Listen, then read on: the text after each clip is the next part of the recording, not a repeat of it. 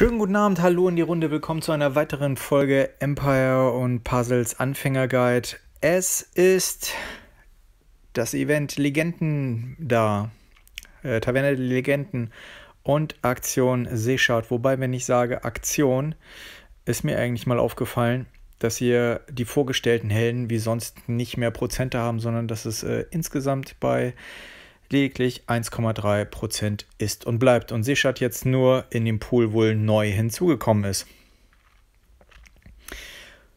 Ich möchte heute Abend ähm, parallel mit euch mal so weit spielen, wie ich komme, muss allerdings äh, fairerweise zugeben, dass ich ein bisschen vorgespielt habe und da dann äh, gleich mal mit euch ein paar Videos anschauen werde. Nur von den ersten, also nichts Schlimmes. Äh, alles, was man, was auch definitiv jeder schafft und das ganz ohne Probleme. Ähm, interessant dabei ist einfach nur, dass ich äh, ungelevelte und äh, genommen habe und äh, Level 1 und äh, zwei Charaktere benutzt habe, ungelevelte wohlgemerkt, weil ich mir gedacht habe, ach, wozu der Aufwand? Hier haue ich einmal die Schmiede hoch. Die geht jetzt auf 19. Hier geht mein, wird mein nächstes Lager fertig. Das äh, Lager, äh, wenn das fertig ist, mache ich da drüben noch das äh, letzte auf 19. Das müsste dann reichen für Festung 21, wann auch immer ich die machen möchte. Ich habe mir gedacht, äh, ich werde einmal meine Rucksäcke, die ich habe, die 350 jetzt komplett äh, auf Null spielen. Und danach äh, setze ich mein Ausbildungslager fort. Ich möchte einmal starten mit diesem krassen Loot. Ich habe in mystische Vision 10 Diamanten bekommen.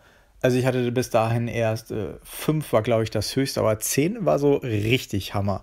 Da habe ich mich auch richtig gefreut. Also das, äh, sonst postet man ja immer nur, ach, wenn es schlecht läuft, ne? Aber das war wirklich super, das will ich auch keinem vorenthalten. Äh, könnt ihr mal schreiben, was euer höchster äh, Loot raus war.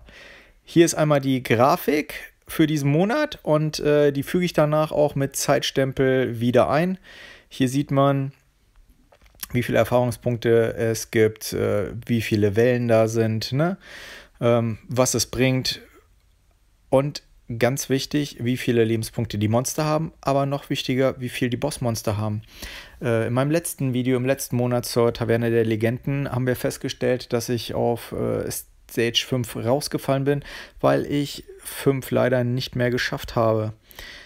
Wenn man sich das genau anguckt, 3495, das ist mehr als machbar, allein weil ich ja Pfeile, Äxte und äh, diese Feuerbälle drin habe. Und äh, die 5 Pfeile machen 500 Schaden, die 5 Äxte machen 1000 Schaden und die 5 Feuerbälle machen 1500 Schaden. Macht nach Adam Riese 2500 Schaden nur mit den Items, die man einfach mal raushauen kann. Habe ich mich gerade verrechnet? Ja, ich habe mich verrechnet. Was habe ich gerade gesagt? 1500, äh, 2500, 3000 Schaden mache ich.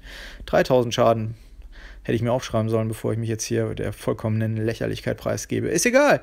Ähm, das heißt, bis Level 6 sollten wir diesmal kommen. Ich habe auch äh, ohne zu viel zu spoilern, gehen wir einfach mal hier rein. Das ist das, was ich gewählt habe. Alles ungelevelte, zwei Dreier dachte ich mal, probiert man mal aus. Ähm, vorweggenommen hätte ich mir sparen können, äh, die Dreier zu nehmen. Die Items äh, regeln das. Das äh, wird man sehen. Ich hätte mir überhaupt keine Gedanken machen müssen. Hier, ich habe nicht mal einen Heiler dabei. Äh, ich habe sogar Mana-Tränke dabei, die ich sonst äh, eigentlich niemals nutzen würde. Ähm, ihr seht schon, worauf das hier hinausläuft. Erste Stufe, mein Tipp. Ungelevelte Zweierhelden, Items und fertig. Das ist absolut ausreichend. Ähm, die Gegner auf der Grafik sieht man, die haben kaum Lebenspunkte, die halten hier nicht mal mehr, seht ihr ja gerade, ne? Ein bisschen mehr haben Lebenspunkte als eine normale Attacke haben sie. Das ist schon krass. Also, da passiert nichts. Hier seht ihr, ne? Seeschat bekommt da den äh, Mana-Debuff, den alle aus dem äh, Schwarzwald, wollte ich schon sagen, äh, aus dem ähm, Märchenwald-Event haben. sodass, äh, wenn das Mana aufgefüllt wird, äh, Sechard Schaden bekommt. Da helfe ich jedoch auch schnell, dass das Mana aufgefüllt wird, damit das Mana schön zurückgesetzt wird und sie sich schön Schaden macht. Da kommen dann nochmal die Specials drauf und dann war es das auch schon. Ihr seht, die Specials machen nicht so viel Schaden, deswegen habe ich mich gleich entschieden, ähm, die Waffen einzunehmen, weil ich dann einfach gedacht habe, kommt, bevor es knapp wird, macht man das. Ich habe irgendwann die Geduld verloren, aber ich hätte auch einfach weiter runterspielen können. Hier seht ihr, selbst wenn sie trifft, ne, da ist nicht viel los. Oh, ich dachte, ich hätte die Waffen genommen. Dann war das das zweite Video. Gut, also Level 1 ungelevelte und äh, notfalls mit Waffengewalt einsteigen. Video, also Stage Nummer 2. Jetzt weiß ich definitiv, dass ich Items eingesetzt habe. Ähm, eigentlich wollte ich hier mindestens ein oder zwei Schattenhelden mitnehmen. Das Problem ist, ich hatte keine Schattenhelden mehr. Die habe ich vorher alle verfüttert gehabt. Äh, deswegen habe ich auch eben nur grün verfüttert. Ähm, für den Fall, dass ich nochmal was brauche an ungelevelten äh, Futterhelden hierfür, kann man das nochmal nehmen. Wobei ab Stufe 3, glaube ich, wird es langsam Zeit, dass man ungelevelte Dreier, Vierer oder gelevelte Dreier nimmt. Ähm, ich habe so ein Team, wo ich sage, damit würde ich gerne Stufe 6 angehen. Und äh, Stufe 6 würde ich dieses Mal gerne schaffen. Das äh, habe ich mir fest vorgenommen. Hier sieht man, war es ein Fehler. Hier hätte ich einfach mal verschiedene Farben mitnehmen sollen. Ähm, von den kleinen Tränken ähm, habe ich äh, um die 4000 Stück. Deswegen habe ich mich entschlossen, die einzupacken, damit die mal wegkommen. Ich habe die immer gebaut, wenn ich äh, zu viel Nahrung hatte und die Nahrung nicht verschwenden wollte, weil ich es versäumt habe, meine Kaserne hochzuziehen, weil ich einfach finde, solange ich keine Vierertruppen habe, ähm, macht das keinen Sinn. Meine Futterhelden oder meine Futtertruppen besser gesagt äh, in äh, Zweier- und Dreiertruppen zu stecken, ja. Für Turniere kann man die Dreiertruppen nehmen. Aber ansonsten nur dafür finde ich, ist es verschwendetes Material. Deswegen warte ich einfach ab. Und äh, wird aber nicht mehr lange dauern. Ich habe nämlich mit der letzten Münze ähm, aus dem Rekruten-Channel habe ich eine lila Mana-Truppe gezogen. Da habe ich mich richtig gefreut. Und die wird auch bald gelevelt. Hier seht ihr Kunchen oder ups. Nein!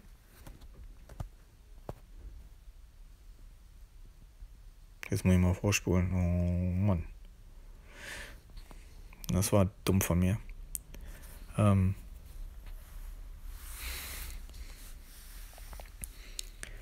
der hält ein bisschen mehr aus. Das ist mir dann auch aufgefallen. Ähm nachdem ich festgestellt habe, dass die Specials der ungelevelten äh, Einser oder Zweier, was das ist, kaum Schaden machen, habe ich mich zur brutalen äh, Variante entschieden und habe ihn einfach mit den Items weggekloppt.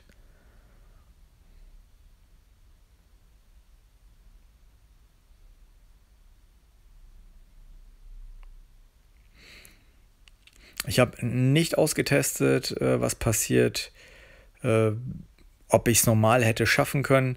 Nachdem er den äh, ersten dann umgehauen hat, habe ich mir gesagt, komm, ist egal. Äh, lieber kein Risiko eingehen.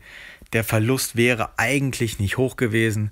Es sind ja nur äh, Billighelden, die man nutzen kann. Aber egal. Kein Match.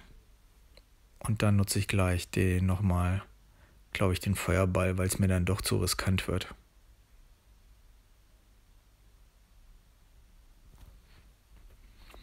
Genau.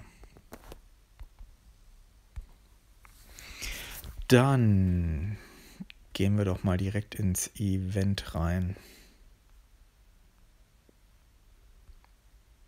Hm.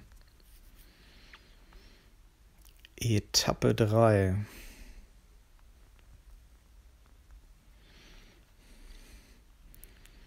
Blau und Rot und 2800.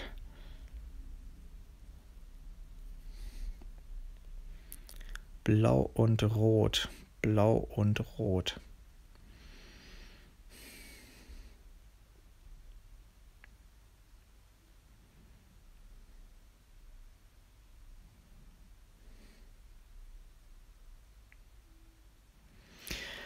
Also ich muss ja nur bis äh, in die letzte Stufe kommen. Weil danach sollte das alles geregelt werden. Dann, wenn es blau und rot ist, nehme ich komm, noch eine Telluria mit.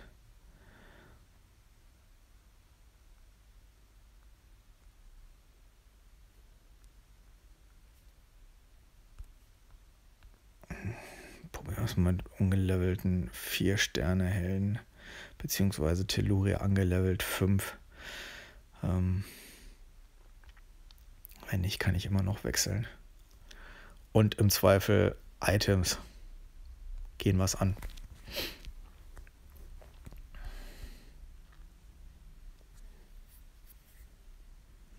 Mir ist bewusst, dass ich äh, Konterfarben durchaus hätte nehmen sollen und dass andere Farben besser wären, insbesondere weil ich am Ende ja gesagt habe, ich hau sie eh mit äh, Specials weg. Aber ich möchte mir meine Dreier, die vielleicht besser geeignet wären, eigentlich aufheben, weil ich nicht weiß, wie weit ich jetzt komme. Und in dem Fall oh, sieht ja auch ganz gut aus aktuell. Also keine Gefahr.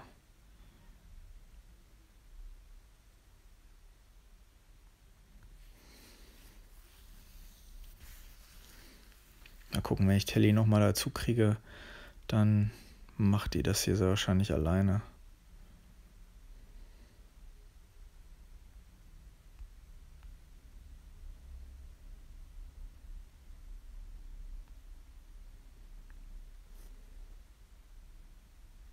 Das war dumm.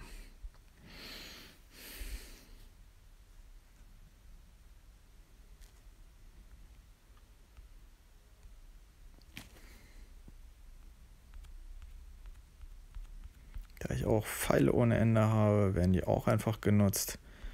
Und dann hauen wir einfach hier alles drauf, was ist. Und ich bin gerade überrascht, das sollte eigentlich nicht passieren. Wieso sind die noch nicht down? Haben die etwa verrechnet?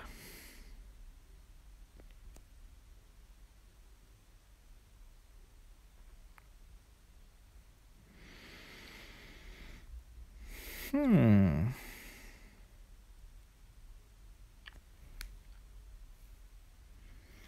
Das ist, äh, ich war doch beim letzten Mal, habe ich die doch so weggehauen. Na gut, der fällt jetzt trotzdem. Und Frieda sollte jetzt auch bald fallen. Spätestens jetzt. Ui. Na, vielleicht fällt sie doch nicht gleich. Aber dann jetzt.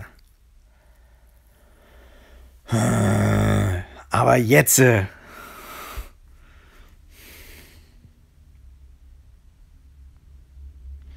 Okay, vielleicht sollten wir jetzt auf Stufe 4 langsam mal ein bisschen was reinnehmen, was gelevelt ist. Äh, Rot und Lila wären die Endgegner. Rot und Lila. Oh nein, ich habe keine Feuerwelle mehr.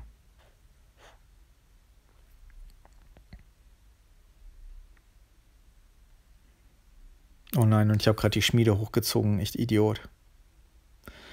Oh, das ist nicht gut gewesen. Das ist nicht gut gewesen. Packen wir Schildkrötenbanner ein.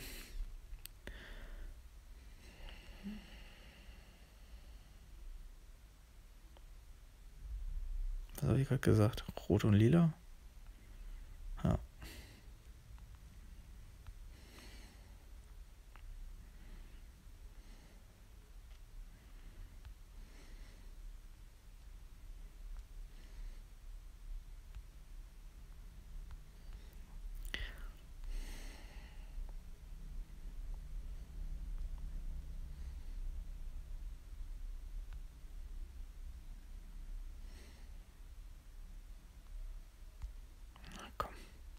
Das mal.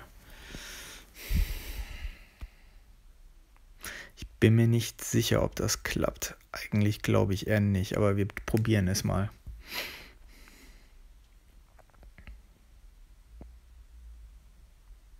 Oha. Das könnte sein, dass das gleich äh, bestraft wird. Ja, es wurde bestraft. War das dumm.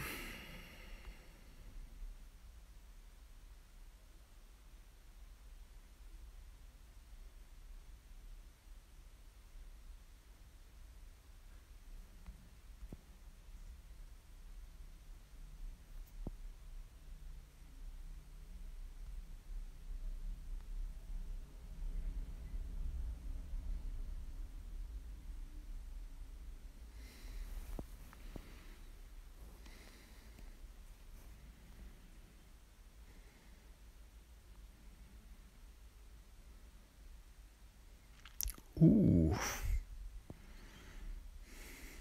No, das war blöd. Da habe ich den Diamanten verpasst.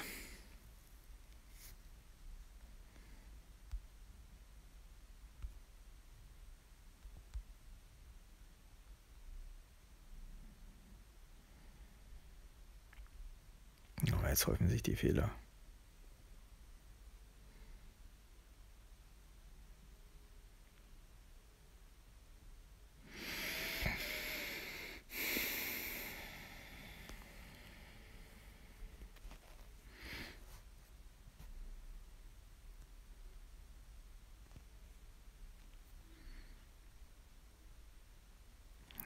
Brandschaden reicht nicht aus.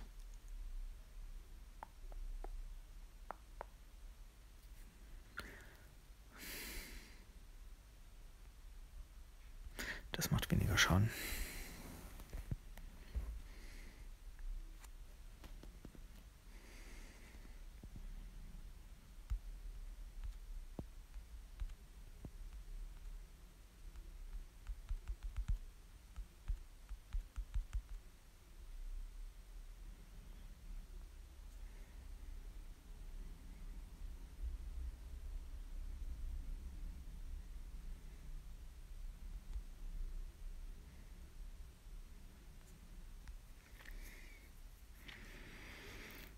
Vielleicht war das ein Fehler. Vielleicht war das ein Riesenfehler.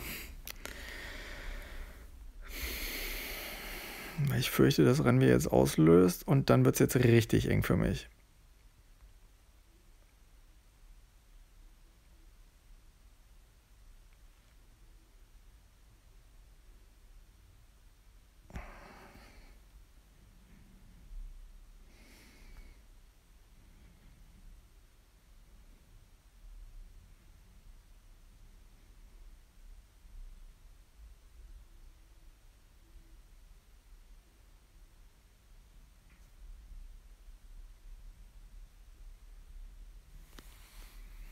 Oh, das war nicht gut.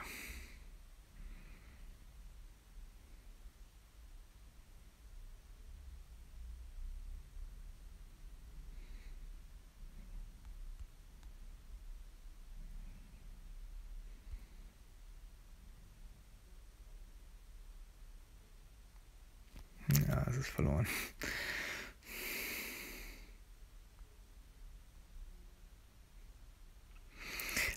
Nein, das lohnt nicht, das mache ich nicht.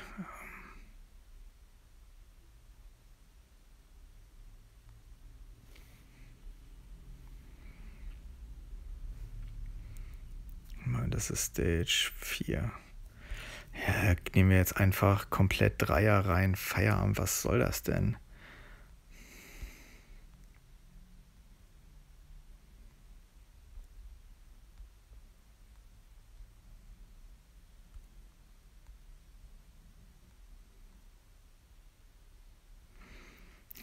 noch Satana rein und Feierabend. Das sollte jetzt äh, sowas von klappen.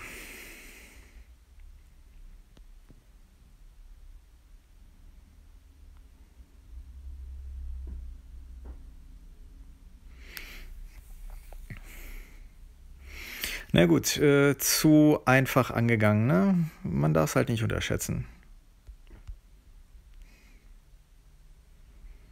Also Memo fürs nächste Mal. Die ersten beiden kann man machen. Stufe 3 nicht mehr. Da sollte man schon ein bisschen was äh, bringen.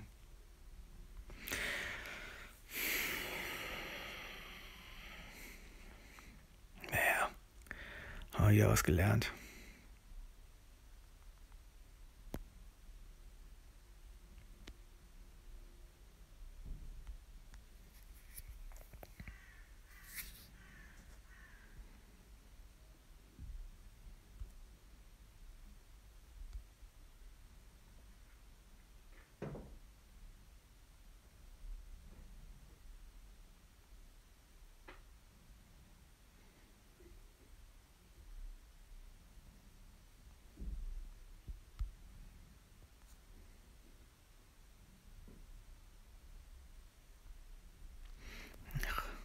Jetzt eigentlich zu faul, ein bisschen hier zu spielen. Hauen wir mal ein paar Linien weg, dass hier mal farbmäßig irgendwas Gutes nachkommen kann. Irgendwie ist es ganz viel, da kommt jetzt ein bisschen was nach, das ist schon mal gut.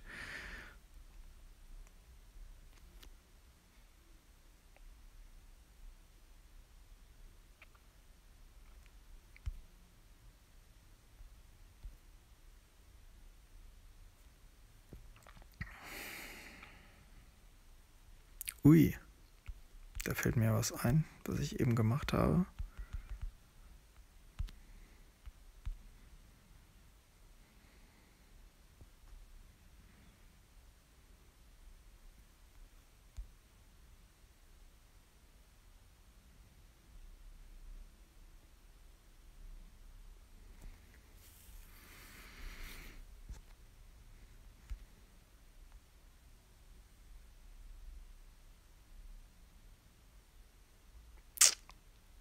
Das ist hoffentlich nicht zu spät. Sehr gut.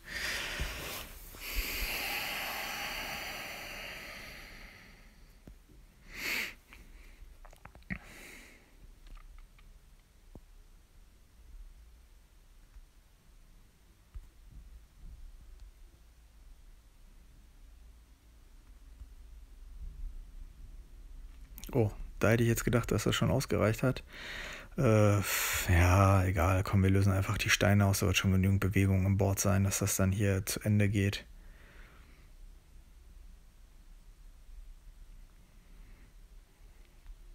Bisschen Kamikaze spielen.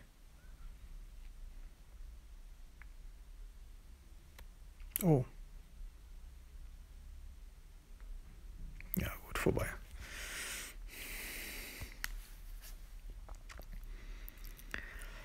So, Stufe 5. Wir haben noch meine ganzen guten Helden. Und ich wollte Stufe 6 schaffen. Stufe 5. Oder oh, haben wir hinten drei? Zwei Heiler. Öh. Gelb, blau. Oh, und unterwegs bräuchte ich eigentlich lila.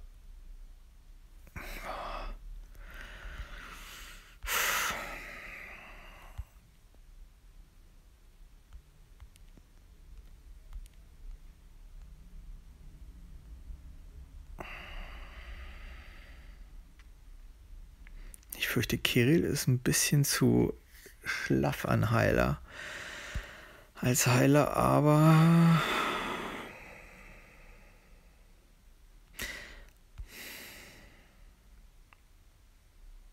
Einerseits, ich habe noch eins, zwei, drei,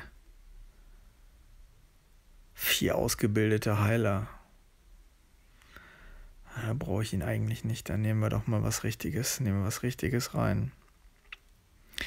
Und dann nehmen wir. Oh. Also ich brauche auf jeden Fall Sonja, nehme ich mit rein.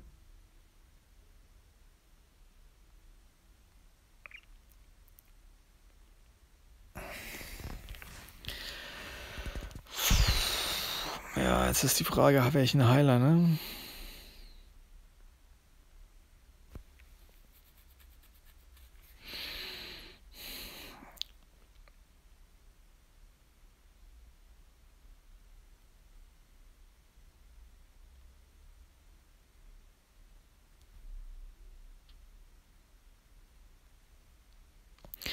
Also Rigat, Proteus, Heimdall, Hänsel und Jabberwock würde ich gerne am Ende mitnehmen.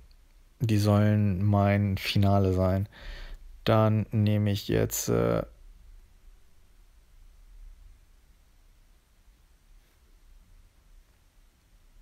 Nee, Wächterfalken nehme ich nicht. Ich nehme Colin mit und ich nehme. Oh, ich brauche einen Heiler.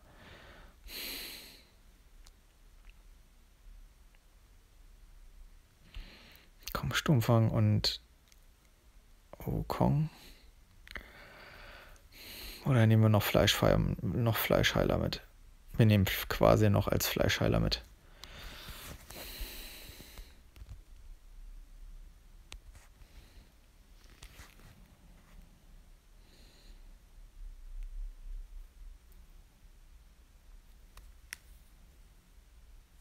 Da habe ich mich jetzt auch gerade verguckt und mir ein eigenes. Äh, das sollte gerade anders laufen. Da habe ich mich aber gerade total verguckt.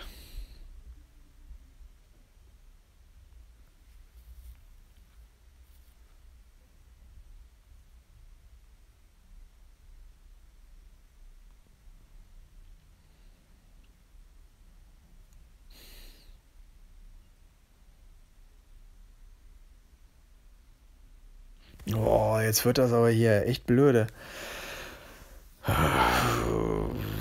Gelb, blau, lila. Ja, Bewegung ins Board rein.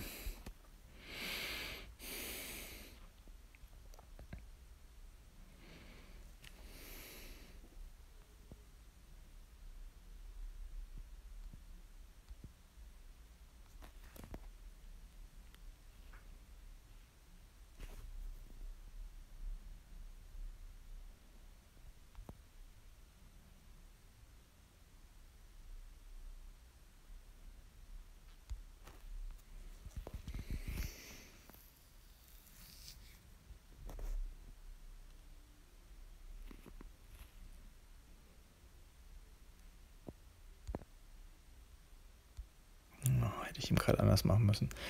Oh, das ist natürlich äh, das erste Mal, dass ich äh, sowas live mache und da kann ich gleich sagen, das äh, mache ich sehr wahrscheinlich nicht wieder, weil es echt peinlich ist. Ich komme mir gerade vor wie der letzte Kacknapp. Das bin ich zwar auch, ich bin ein Anfänger, aber wenn ich es mache, merke ich gerade, dass ich total unkonzentriert bin. Ich meine, das wird hier klappen ohne Probleme. Dafür ist die Kombination an Helden schon gut, was ich gewählt habe. Ist wahrscheinlich auch zu viel. Aber wir werden es gleich mal sehen, was dann am Ende bei rauskommt.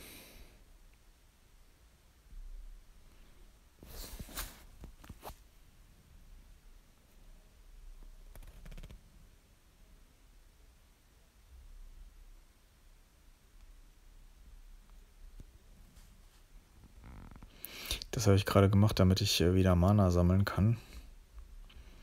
Finde nichts schlimmer, als wenn man die ganze Zeit Mana unnötig vergeudet, weil man es nicht nutzen kann. Eigentlich ist es zwar nicht vergeudet, aber ah, eigentlich erledigen die Bienen ja auch gerade den Hauptjob, wenn man mal ganz ehrlich ist. Ne?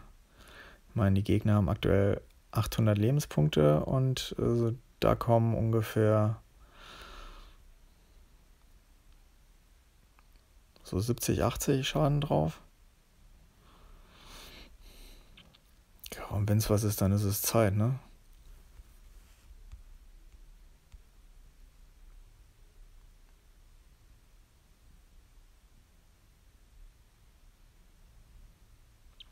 So, und jetzt kommt der interessante Teil.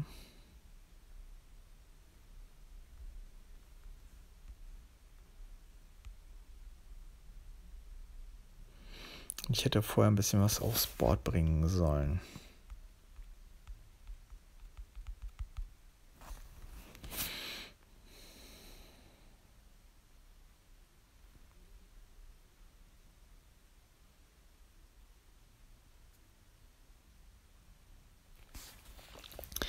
Fällt mir ein, das war gar nicht mal so schlimm, dass ich äh, den Bienenmann mitgenommen habe. Der verändert nämlich dann die Replikatoren bei Sichert.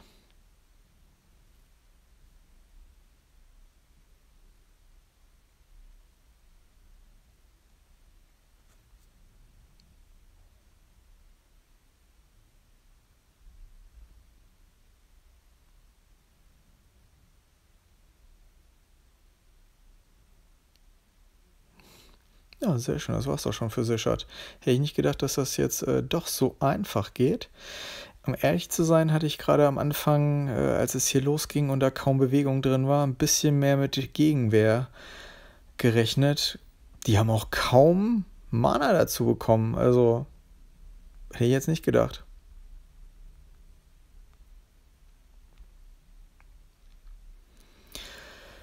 So, Etappe 6. Für Etappe 6 würde ich sagen, hebe ich mir fürs zweite Video auf. Ich bin jetzt schon ziemlich lange dabei. Ähm